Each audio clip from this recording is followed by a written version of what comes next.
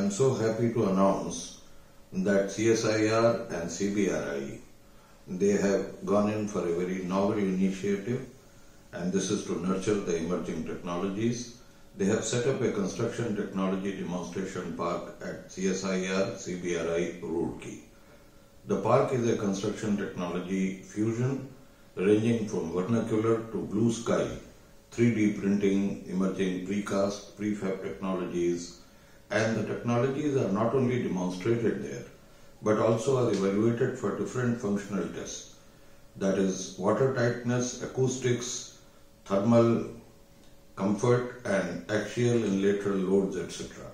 The emerging technologies being evaluated are precast hybrid buildings, confined masonry, cold formed steel, dry construction, bamboo housing systems, 3S precast building systems, prefab steel housing building, and a stay in place formwork system.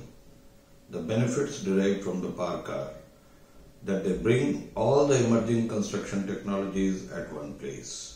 It creates a technical data bank of various existing alternate materials and construction technologies which are time tested and proven and can be really used in the field based on the geoclimatic conditions.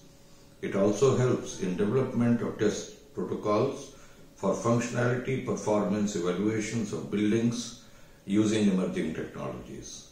Do visit and have a look at it and also the appeal to the young students is who are going to be now professionals in tomorrow.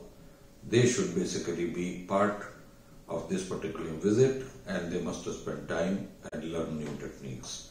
Thank you very much and I once again repeat, you are all invited.